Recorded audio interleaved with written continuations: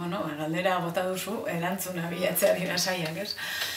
E, betu, e, abertzaren estrategiaz, e, ez da asko egon da herri honetan, eta bueno, garbi dagona da estatu baten aurrean gaudela, estatu ez e, kultura demokratiko handiri gabeko estatu baten aurrean, Eta, e, bueno, ba, hain justu, ez, ez da hori izan zen e, txibertan, batzuk alde batera eta besteak bestera eraman zituena e, garbi geratu dana da estrategia politiko-militarrak ez duela eser lortu eta are gehiago zaildu egin duela aurrera pausoa.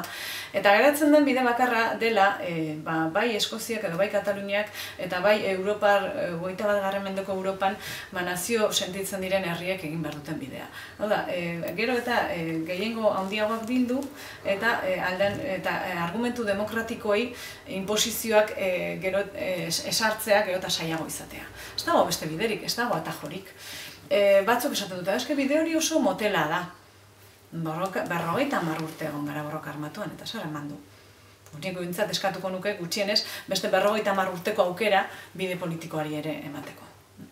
Dena den, iruditzen zaite gure gizartean, oraindik e, e, sektore berriak abertzaletasuna erakartzeko, badibidez Katalunian gertatu den bezala, e, abertzale izanez, baina independentista e, asko dagolako.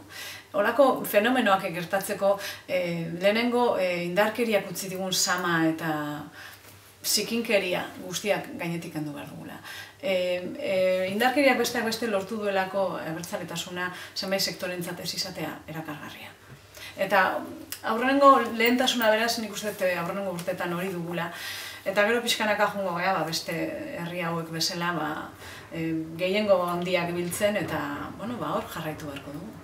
Mai gainean badago